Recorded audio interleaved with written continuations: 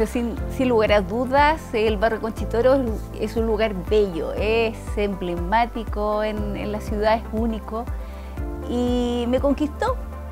Yo, siendo vecina, visitaba la plazoleta y de a poquito me empecé a acercar, a juntar, a reunir con otros vecinos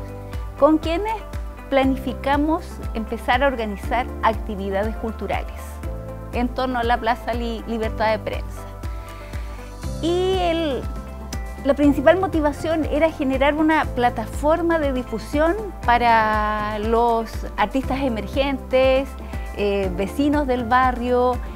y poner en, valor eh, a Concha y Toro, porque es un lugar que mucha gente no conoce y tiene una tremenda historia. Y el público se motiva a venir caracterizados o tienen la posibilidad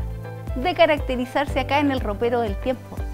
que es un proyecto que tengo desde el, desde el 2018,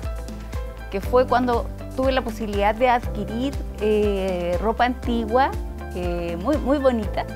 y en el tiempo se fue nutriendo el ropero con aportes de, de, los amigos recreacionistas. Entonces, eh, tenemos la posibilidad de ofrecer el vestuario al público con aporte voluntario, también se arrienda, dependiendo de la, de la necesidad, pero como pueden ver todos los proyectos están bien, bien enlazados acá en, en Concha y Toro y bueno, eso me motiva a hacerlo acá, en Barrio Concha y Toro, que es el lugar que tanto quiero.